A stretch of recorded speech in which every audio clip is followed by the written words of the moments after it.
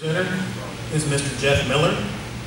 Mr. Miller was born and raised in Plainview, Texas, and has been involved in agriculture his entire life. Mr. Miller holds a Bachelor of Science in Integrated Pest Management from Texas Tech University, as well as a Master of Science in Crop Physiology from Texas Tech. Jeff worked for 10 years, over a period of 10 years, with Delta Pine Monsanto in product development, and then worked eight years with Pioneer in drought research, sales, and agronomy. In 2017, he founded Forefront Agronomy to provide leading-edge, individualized agronomy insight and to support growers in West Texas. Mr. Miller, thank you for being with us this morning. Thank you. Well, they always put me right before lunch, so I hope your bellies aren't uh, grumbling too much. But uh, what a great program we've got on, on board today, and, and uh, really fortunate to follow up with what Bob and, and Glenn were talking about. But we're going to change gears a little bit and take some of the, uh, the insights that they provided and look at how uh, going forward with a precision mindset, how we can manage our irrigation water out here in West Texas.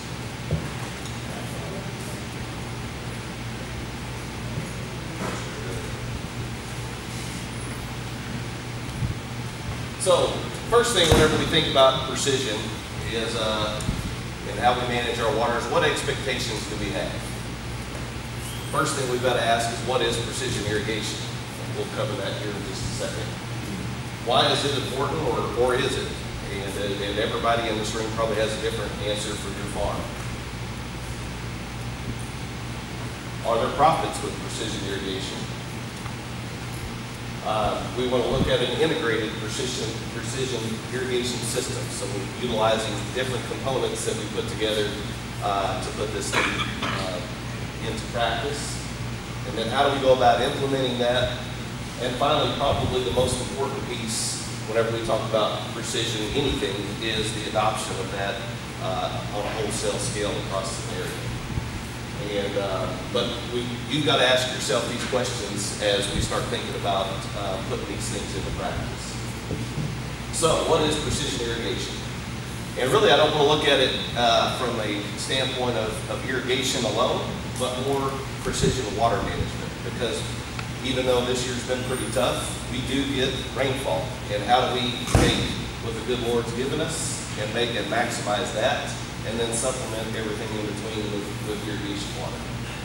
So, you, know, you look up what precision means in the dictionary, and it's going to throw these, these words to you. Precise, exact, and very accurate, and then as we apply it to irrigation uh, or water in general on our crops, um, how do we go about applying that? Know, how do we make every acre give us the biggest return on that investment? And what is our expected result of, of precision irrigation? Well, ultimately, it's got to be uh, making a profit, or you, you don't need to do it you're not going to be in business. And so that's what I want to kind of visit about today is, is you know, how do you get in the mindset to do this? Um, you know, there, it is a process. And uh, so where do we go from there? And then also, I'm going to spend uh, the latter half of this presentation visiting about some of the projects that we've got ongoing uh, with TAWC and, and other things out in the area that are pretty pertinent to uh, precision irrigation. So I mentioned that uh, that precision irrigation is a concept, and it's relatively new. Uh, you know, in the grand scheme of things, now there's been a lot of things that have come out over the last 20 years that are that are you know, touted as precision, such as variable rate planting, fertility. But really, the irrigation game has just really come on board in the last, say, 10, 12 years. And so keep that in mind that there's still a lot of things that, that uh, that we're working on trying to implement, get this get this kicked off. And uh, so the first thing we've got to understand is that it is a concept. The next is that it's a process. And uh, in most cases, including myself, is where do you begin and how do we uh, move towards that end goal? Um, a lot of guys that I work with have started out, you know, you've got a, a management system that you're currently using, and it probably has worked very well for you. Um, but are there some new technologies available to help you make those decisions with a little more information, make better decisions, and ultimately make uh, make more money down the road? And the last thing is a mindset. So how do you change your mindset from what we have done in the past, and how do we react to the differences that happen from year to year, whether it be weather, genetics, uh, commodity markets, all these kind of things that play into our decision-making process, and how can we take a precision mindset into that to take us to that next level? The things that precision irrigation is not is variable rate irrigation. It's not moisture probes or sensors. It's not fancy software, hardware, or apps. And the reason I say that is that these are all tools to help us get to a to an end goal down the road. And uh, every situation, every field may require a different set of these um, of these pieces of the puzzle. It may require all of them. It may require some things that, that we haven't even mentioned here. Um, you know, such as imagery and, and who knows what's what's uh, down the road. So I don't want you to get focused so hard on the hardware because I think in the past, with how precision things have come out in agriculture, we tend to focus so much on on the component, the hardware, and uh, and we haven't paid enough attention to our mindset, where that needs to be, what our goals or expectations need to be. So as we look at a precision ag systems approach, um, you know, we've had variable rate seeding capabilities out here for a number of years, same with, with fertility, and I just mentioned water. But which single input will have the, the greatest impact on the other two? Uh, in my opinion, I feel like it's got to start with the water. Because why would we go out there and put the same amount of water on a higher or lower population? Why would we put the same amount of water on higher or lower amounts of fertilizer? And so we've got to understand how, how we apply this water. It's such a precious resource. How do we use the uh, you know, rain-fed environments and supplement what we can um, to make these other two inputs give you the biggest return on your investment. So that's where I wanted to go today. So getting yourself into a precision irrigation mindset, you've got to keep a couple things in mind. First thing is, is what are the water needs of the plant? And there's been a lot of research done over the years to understand, you know, at this certain stage, this plant's going to use this amount of water. As it moves through the, progresses through the season, it's going to use a little more. And then as it comes down to the end of the season, it's going to start using less. And uh, pretty much it follows, it doesn't matter what crop you're looking at, uh, but we've got to understand what those water needs are of that crop. The next thing we've got to understand is what water is available to the plant in the soil, in your irrigation capacity, in rainfall amounts. We need to understand what the active root zone of the crop is. Once again, that changes throughout the growing season and different growing seasons. Last year we dealt with a very shallow rooted crop because we had so much rain early on. This year we dealt with a, a much bigger bank because we were able to tap into some of that deep moisture that we had and we've got lots of deep roots. Well, that's going to affect how we manage that irrigation. One thing that's often overlooked is oxygen needs of the crop. And as, uh, as I visited with especially a number of growers over the last couple of years in, in drip irrigation systems with, you know, are we overwatering some of that? And, and it's not a lack of water, but it's a lack of oxygen in the root zone. So, you know, and, and not so much in this area, but there are other areas where we have an abundance of water and uh, that overwatering early can, can deplete the oxygen uh, in that root zone. And, uh, so we've got to think about that as we go into a precision irrigation mindset. Plant available oxygen. And then finally, how do we offset or optimize our weather pattern? And, uh, which is a constantly changing thing. You know, uh, visiting with Steve Moore a while ago about our, you know, our forecast that for this week, everybody was saying it was a guaranteed deal. Well, how do you go against that whenever it doesn't actually happen? And so this, this all plays into that mindset that, we've got to have as we approach precision irrigation. Uh, so one of the things that we were able to utilize, and uh, there's many different types of sensors on the market. The one that we uh, use is a capacitance or frequency domain uh, uh, moisture probe. And what we do is go out and install this in an actively growing crop. Uh, this is just an example of, of what one of the probes looks like. Uh, it's tied to a telemetry unit that uploads data, uh, and then you're able to access that through the computer, you know, iPad, phone, those kind of things. Uh, most of these are set up where there's a sensor every so many inches. In many cases, it's about four inches in between those. And what it does is sends an electric impulse out into the soil um, at various uh, distances away from that. And then measures it as it comes back into the probe to give you an idea how much moisture you've got available to that plant. Um, basically, this is what I'm talking about. As, as that electrical pulse goes out, it hits these uh, hydrogen ions, and, and that will change the amplitude of that wave as it comes back, and then that's going to give you a reading uh, for your moisture probe. You know, there's some advantages to this. It is quicker response time than, than some other probes that have been around a while. Uh, we can measure salts, so we can even manage some, uh, some of our fertility needs or monitor salty water, salty uh, soil situations, uh, and make some adjustments there. You know, there are some disadvantages to, to this type. Uh, one of them is that we still need to calibrate. And, uh, our particular drill and drop probe comes with a standard soil calibration that's, that's um, common to this area, but you know, if we got into some really strange heavy clays or some really, uh, really light sands, you know, I need to send those things off to, uh, to recalibrate. But the nice thing about these is that it gives you another set of eyes, not only in the field, but what's happening below the ground, what's happening where those roots are active, because that's where our water capture is going to be. And, uh, and the other thing is, you've got access to it 24 hours a day. You know, I've, I've walked a lot of fields over the years and stuck a lot of probes in the ground and still do that to this day because I believe that even with technology, you can't get rid of the boots on the ground. But, um, but it's nice to have that access, you know, 3,000 data points over the course of a week. And, uh, and a lot of things can change, whereas if I was going out and just walking the field, I'm just sticking up, you know, one or two data points a week. Um, so this is what it's measuring. You know, that, that, uh, that reading that comes back into the probe, if it was reading air, it'll give you a one. It's reading soil, is going to give you a five. And as you can see, those hydrogen ions really uh, get back a pretty strong reading for water of an eight.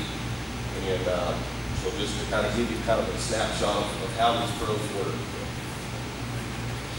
There's one of them uh, in the soil.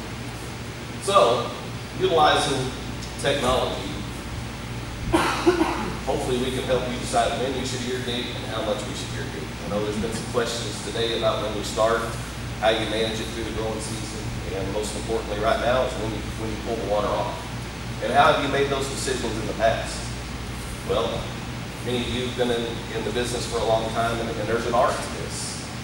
And, um, and we don't want to take that away because, once again, those boots on the ground make, uh, make this technology uh, greater because we can, we can play off of each other. But, but that's the things I want you to ask yourself is, is how have you made those decisions in the past and can we make those decisions better? Especially with changing weather patterns that we've got, reduced well capacities that we have, you know, we can't do things like we did 10 years ago. So, can precision technology help us make that? I know I've had some successes and some, and some failures uh, going both ways, and it's always a learning process. But I feel like with a little more information out there from that field, we would be able to make some more better informed decisions. So taking uh, just, the, you know, you can throw in whatever crop you got. I just had a nice picture here of a corn crop. You know, we talked about water needs um, as that crop moves along. We talked about active rooting zones. And uh, so things are going to change as we move across the uh, uh, across the growing season. And, and you know, wet, wet, rainy season early on can affect that rooting depth of any crop.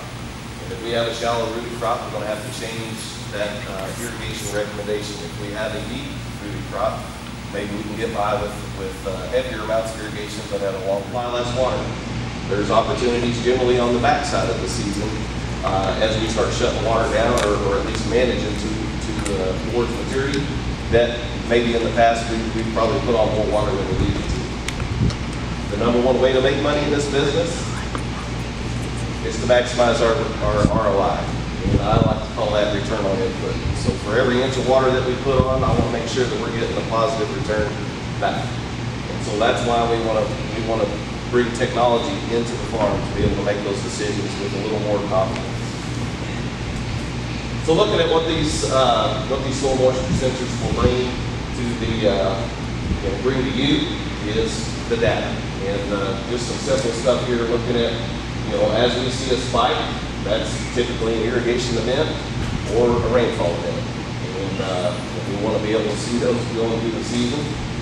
Uh, whenever it starts stepping down, as we see it flatten out, that's little to no change in moisture content, and typically that happens during the evening. Um, these steep drops that we see is water use during the day. Uh, substantial, you know, moisture content change, so that, you know, we want to watch this, we want to see how far those things are pulling down every day, we want to see how it's recovering, and uh, those are going to affect our uh, irrigation recommendations based on the amount and timing. Um, we kind of keep, what I like to say is, is set some road ditches, so we've got a refill chart, a reach, a recharge line here that's indicated in the red. And uh, I don't want you to get confused and think that that's when permanent wilting point is.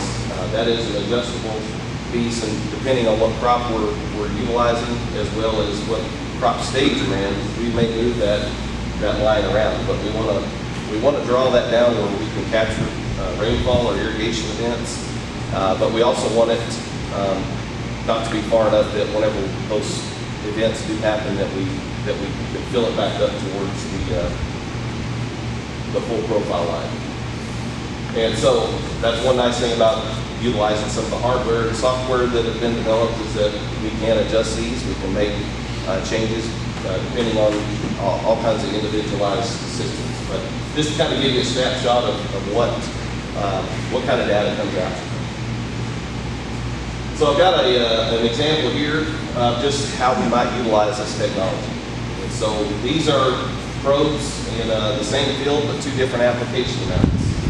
And uh, if you look at this one, this top one, we don't see much activity uh, here on the on the lower know, most of our irrigation soak in down to that eight inch level, and uh, and then we refill and uh, went across. As we add more irrigation to the uh, to the crop. Um, and in many cases, this isn't a whole lot. Uh, you know, a couple of tenths difference in a lot of cases. This was on the same frequency, but um, we, we see a lot more activity down lower in the profile. And what happens there is we typically get roots chasing that water. So we have a bigger bank to pull from, especially when we get into July and August, to be able to carry us uh, through some, some times of the season whenever we don't either have enough irrigation capacity or we're, or we're light on rainfall. The other thing we can do is, is evaluate our irrigation efficiency. And uh, so looking here at, at an irrigation amount, you know, we take where we drew down, subtract it from where we refilled it to, and uh, go across several irrigation events, average that out. Uh, this was a 65 hundredths of an inch application. And whenever you put the math to it, that's a seventy-seven percent uh, irrigation efficiency. So, and whenever I was in school, that would have been a C plus, which would have got us by, but we could probably have some, some more improvements. And one thing that I've noticed uh, over the last two years, last year, we caught some big rainfall events. But how much of that rain actually got into the soil? You know, we may have gotten two, three inches of rain, but we may have only soaked in seven tenths. So what was the uh, efficiency of that rainfall? And and understanding that helps us to make decisions later on on how to manage that crop. This year with some irrigation capacity, guys tell me, well, I put on an inch. Well, I'm only seeing a half or six tenths that actually got into the soil. So are there ways that we can improve that through irrigation or are there ways that we can improve that through cultural practices? These are all conversations that we've got to have and it goes back to that precision mindset. So looking here at a uh, different application amount, you can see the numbers here. Um, but, you know, an 85 hundredths of an inch application, we were getting more water into that soil and uh, showed an 85% irrigation efficiency rating. So, you know, we've improved. Is there room for improvement from there? Yes, but still understanding what we have, uh, being able to measure it so that we can manage that going forward. You know, I mentioned that we can measure salts with these, uh, with these um, moisture sensors. And one thing I wanted to point out here is, you know, if you've got a healthy soil moisture content, you've probably got a healthy fertility content because as we dig deeper in the soil, we have additional minerals available to that plant, and uh, we want to be able to access everything that we can that we've got that we've got the ability to. And uh, this is just showing a nice stepping pattern as we, you know, as we as those roots, you know, progress through the season. We're sitting here in the top, um, you know, top portion of the profile we get further into the season, those plants are still putting the roots down deeper. Uh, we get over here into August, and we tapped into that bottom, uh, those bottom layers, And really, you know, got some rainfall events here to, uh, to bring the soil moisture content back up that affected how we manage our irrigation. But, you know, there's just ways, uh, lots of ways to be able to do this with the information that's available to you instead of just shooting from the hip.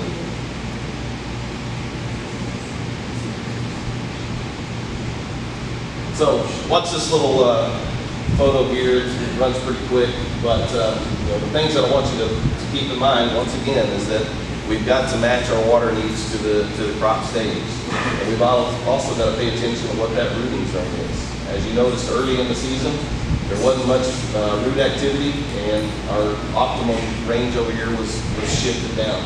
As we got a bigger root system, that optimum range grew, and so that's part of what we're looking at as we're managing this irrigation, managing rainfall, and understanding the crop needs.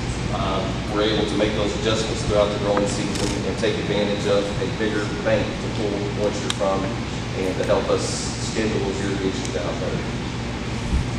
So thinking about our irrigation mindset, it is an integrated systems approach. You know, we gotta think about the weather, we gotta think about the crop needs, we gotta think about what's going on below the surface of the soil, how that's, um, how that water is getting in there.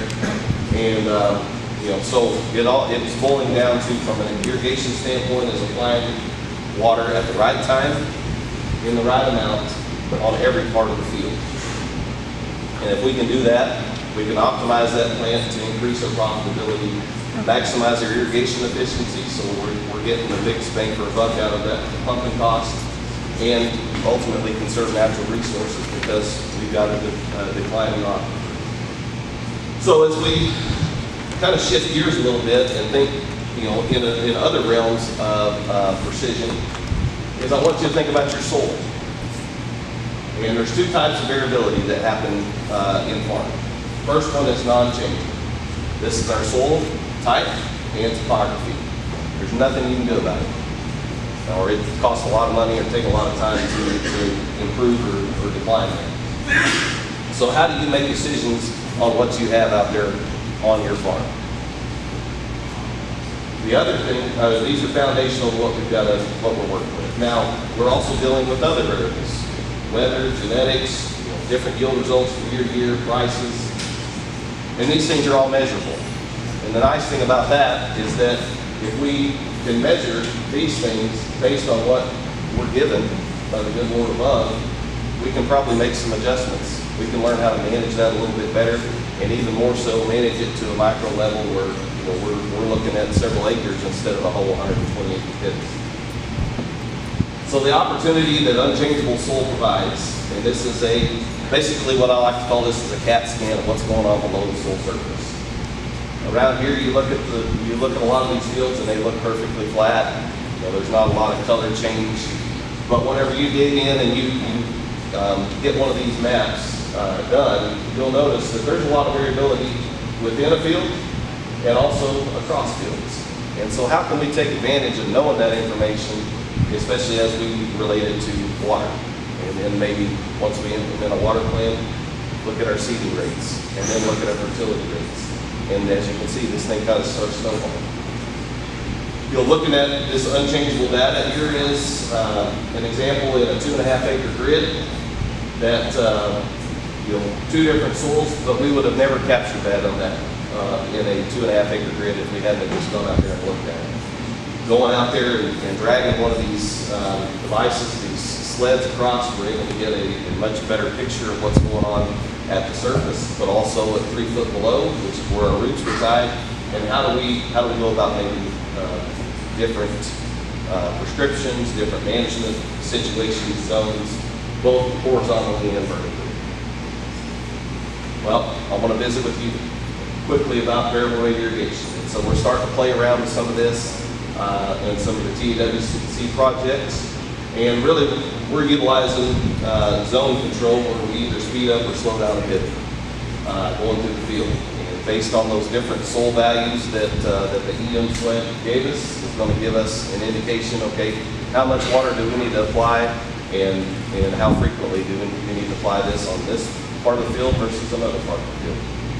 The other thing we got to think about is how, you know, how that water's moving through the, the soil. Uh, you know, we may have topography issues up here that we're dealing with, but we may also be dealing with some other layers as we start digging deeper. And so how do we adjust our irrigation recommendations based on what's happening below the soil surface, where those roots are residing? And it may, you know, we may be able to understand that a little better, you know, seeing this under, you know, get a caliche layer, they're about twenty-four to thirty inches in surface ground. Well, what are those roots doing? Well, you know, we have a lot of guesses until we can go out there and manage. So just looking here, here's some corn information, uh, looking at unchangeable data. Over here is looking at a three-foot scan of that field, and here's some examples of what that looks like. Um, but looking as, as that soil type got heavier, our yields significantly increased. And so, you know, how do we need to apply water on that? Well, you know, that's where I step in, I help, you know, analyze the data, create some zones, and, um, and look at what our irrigation capacities are. This, uh, this particular field was up in Nebraska, where they had their high spots, making the, uh, the most yield on a wet year. These low spots, we're, we're dragging them down. So how would we, um, apply our irrigation differently to be able to offset those? Uh, working, had the pleasure of working with Lloyd Arthur the last two years down in Ralls and uh, on a project where we're looking at variable rate and cotton. And so what we did this year is we split his pivot in half and uh, we're just applying a flat rate on the north side. Uh, have a moisture sensor up here to, to be able to tell us when the timing needs to be. And uh, basically we've put out an inch every time we've gone around. Uh, on the south side of this pivot, we've got, um, you know, a little more variability as you can see. And, uh, this was one of the most recent prescriptions. We've, I've written several of these throughout the growing season, uh, for different crop stages. But as we're looking here, you know, we're speeding this pivot up a little bit. Um, and it's showing about eight, it's eighty-two hundredths of an inch in the red. We get all the way over here to the blue, we're putting out an inch eight. So really, we're not, we're not talking about a, a big change in irrigation capacity. But that's what the soil type was telling us that we needed to put out during that, that stage of the growing season. As we get around to some of these, um, you know, these other green spots, we want to be sitting right there around an inch. Last year, we saw a positive response of about, uh, I think it was 80 pounds. Uh, maybe, I think it was 180 pounds of lint. And we also saw an increased um, uh, loan rate because what, what we're ended up seeing is that these, um, where we put this water down differently, we're seeing deeper rooting depths, healthier plant going into August and September, and uh, really finish those bolls out. So we'll have some information coming out this fall uh, on this crop. It, it has had a struggle. Um, he's had some weather events that we've had to deal with, multiple planting dates, we'll kind of see how that goes, but, but still, I think you can get the gist. So looking at the, um, the soil moisture probe here, just looking at the flat rate versus the VRI, um, you know, with how we applied that, that irrigation on the VRI, you know, it seems like we're getting a little more water penetration into the soil. Uh, we didn't really start getting big uh, amounts of water pushed into uh, this this flat rate until later on in the season whenever we caught a rain coupled with irrigation. As we look at these, um, at the individual sensors, once again, there's not a whole lot of activity deep on this flat rate. Um, and until we get later on in the season, we can see that those roots are finally tapping into some of the, you know, 18 inch range. On the variable rate, we started getting moisture moving into the soil a little, um, a little better earlier. And then as we move through the season, we push that and we're, and we, we're tracking root growth all the way down to 36 inches at, at that level. So some interesting stuff. We'll try to correlate this back to yield um, once we once we get that harvested.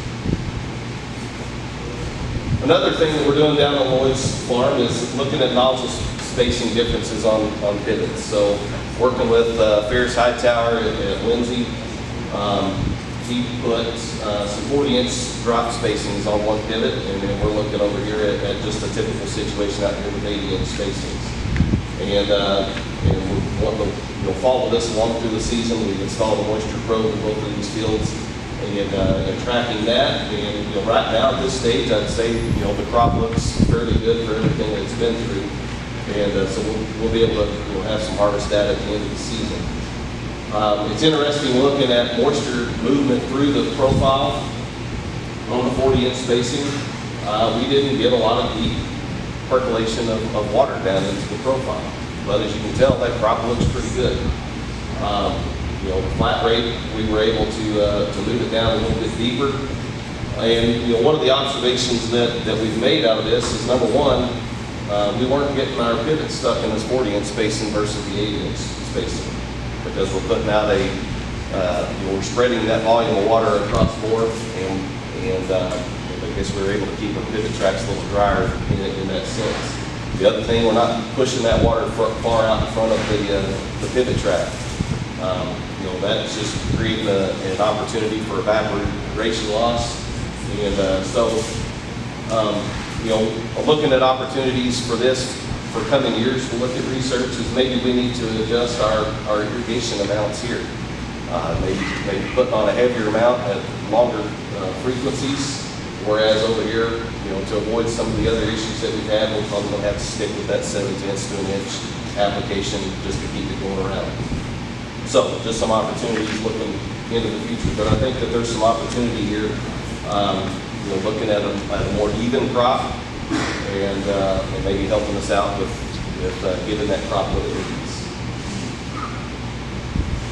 Uh, switching gears a little bit to, to looking at some corn information. I've been working with Kelly Kettner out in Muleshoe and we, um, doing a variable rate irrigation study on him where we're, we're splitting a pivot in half, half of it's corn, half of it's cotton.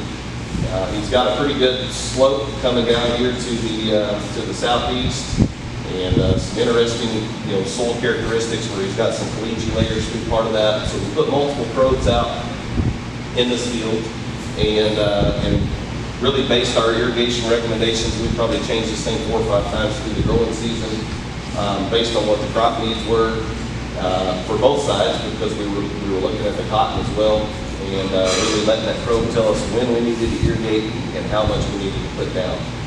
And uh, this is a light water pivot. I think three start started the year 360 gallons and then renozzled to 300 mid-season. We planted this corn pretty light at 23,000. We just chopped it for silage and made 25 tons. And what was amazing was looking at the uh, plant characteristics from the high side down to the low side. They were all exactly the same height. Ears were all at the same level, and for the most part, um, you know, they don't have a yield monitor on that on that silage chopper, but he felt like that was one of the more consistent fields that he's that he's chopped. So we feel like we, we did the right things with uh, managing our water. Uh, looking at his cotton crop right now, same thing. We've kept a consistent plant height all the way from the from this uh, sandy hilltop down into that uh, lakey bottom. And, uh, and how we've managed that, we haven't had to get overly aggressive with our picks. So uh, some interesting opportunities looking at variable rate irrigation and, uh, and how we can implement that on our farm. You know, looking at our cotton, you know, early in the season, we were just putting on a half inch every pass. And so whenever we come out of that corn, um, at an inch or an inch and a half, we would just speed back across this cotton with a half inch.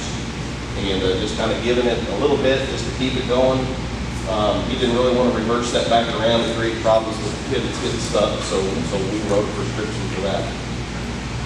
Um, as we got later in the season, we switched that to an inch, and, and then of course on the cotton or on the corn, we did something uh, similar, uh, tracking it through. But as you can see, you know, these half inch applications, we didn't get it, get it soaked in very deep, but we did have some good deep moisture to start with.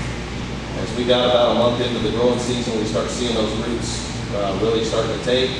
As we get into you know, July and August, we had roots all the way down to 36 inches, and that cotton looks as fresh today as it did uh, you know, shortly after after planting. So uh, I feel like we you know, we've managed that pretty well, even as we increase the amount, and uh, we just shut that pivot off from this last week. Looking at corn, same thing. We started out with an inch application as we went across and shifted to an inch and a half. As, uh, as we look at the, where that water soaked into, um, this is the shallow soil that we were looking at, and once again, we didn't get it as deep as maybe we had liked, but we were able to, to see some moisture pulling from those deeper depths as we got uh, into that maximum water use on the corn. Uh, as we looked at in our deeper soils, we were able to get that moisture content uh, pushed into the soil a little further and take advantage of those, uh, know, those roots at deeper depths, which, gave us what we were looking at. So one thing I want you to think about is, is looking at um, variable rate irrigation and, and how we apply water. And thinking about the right amount of water in the right place. So this is uh, another field further north of us, cornfield, uh, because we were able to utilize a yield monitor, but looking at a, uh, a nine tenths of an inch application rate to an inch ten over here. Know, this is pretty consistent, about three hundred bushel yields. Uh, wish we could get those around here, maybe one day, but, uh, but looking at what we actually, you know, see here is at nine tenths of an inch, every time we went across that, you know, that corn made three hundred and four bushels. As we move over here to the right, we put on more water, about two tenths more water, it was only three hundred and one. So the question I have is, does more water equal more yield? The answer is not always. So we've got to understand what we're working with when it comes to our soil types, and, uh, and then we can make adjustments from there, because we were able to measure it and. Um, But what we were able to do in this situation was optimize that growth of every plant, um, and it gave us more yield consistently across that field in all areas of the field. So, as we start winding this thing down, you know, I want, I want you to start thinking about how can I integrate some technology into how I manage my irrigation? It's all about, we've gotta combine one thing with another. And part of that is your knowledge, your experience, but then let's take some information, let's take uh, the data that, that we're able to generate, and then ultimately it, it boils down to, we've gotta bring other people or groups, and that's what I love about this, um, this TAWC group, is that we're able to share information in events like this. Um, Hopefully, you know, bring someone like myself in to help manage some of that, and and we can bounce ideas around, and, uh, and that's how we're gonna get better in, um, in managing, you know, declining oils, uh, declining moisture contents, and things like that in this environment.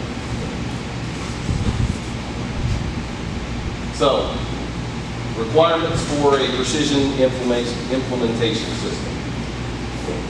You're gonna need some sort of moisture sensitive device, whether it's a moisture probe, a gypsum block, whatever it may be, but you're gonna have to have something to help you schedule that, to understand what's going on below the soil.